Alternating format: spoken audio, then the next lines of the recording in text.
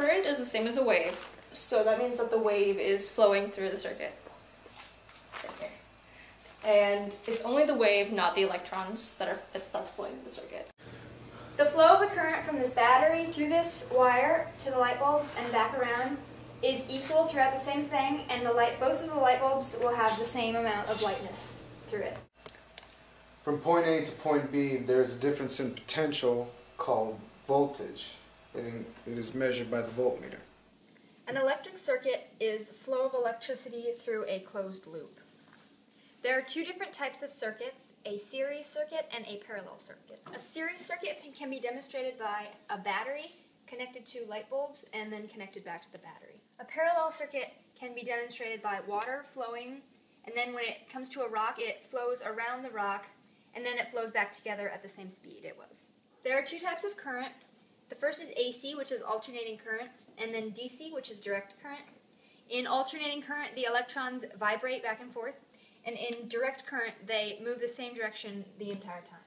Electromagnetic waves, though they are created by electricity, can also affect magnets, such as in a compass, the needles of the compass will always point perpendicular to the wire that is emitting.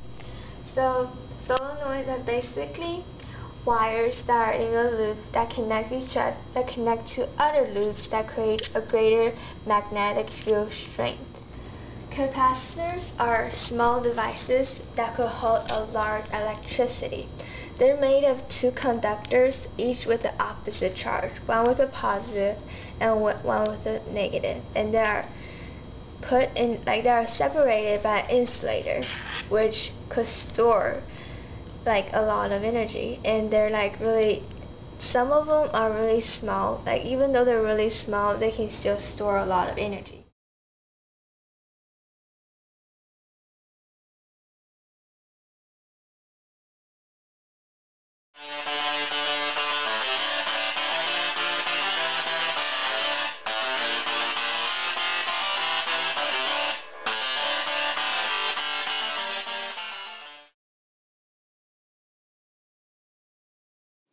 This is the transformer.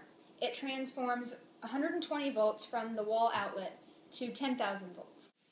This is the capacitor. It acts like a battery in that it stores electricity from the transformer and then rapidly releases it. This is the spark gap. It acts like the brain of the Tesla coil and it turns on and off whenever the capacitor is fully charged so that the maximum amount of voltage can go to the primary. This is the primary. It takes energy from the capacitor and the spark gap and runs it through the coil. This is the secondary. It collects the electromagnetic field from the primary and transforms it to a higher voltage and sends it to the top. This is the toroid. It collects electricity from the secondary and disperses it. Eyeballs, everyone. Be amazed. This is our Tesla coil.